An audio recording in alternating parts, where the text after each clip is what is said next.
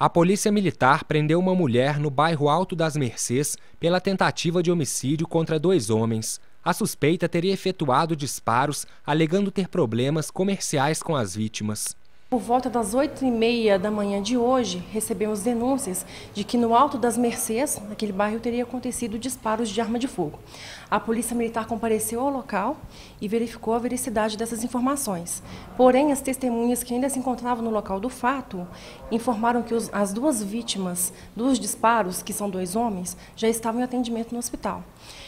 Nesse momento, a Polícia Militar deslocou o hospital, em contato com as vítimas e em contato com a, os familiares, e coletamos ma, ma, maiores informações e conseguimos verificar a autoria do fato, a autoria do, do disparo de arma de fogo. Em contato com a autora, ela disse claramente com precisão que foi devido a um desentendimento comercial a princípio. E que o mesmo, além desse desentendimento comercial, teria entrado na casa dela e furtado alguns materiais que ainda não foram identificados. Essa, por enquanto, é a única informação que tivemos. Após receber denúncias anônimas, os policiais conseguiram localizar e prender a suspeita em uma residência. Ao chegar ao local, é, esse endereço aí da denúncia anônima, é, conseguimos fazer com que a dona da casa concedesse a entrada, tivemos a permissão dela e foi verificado, vistoriado o local e realmente a, a autora dos disparos de arma de fogo estava no local tranquilamente.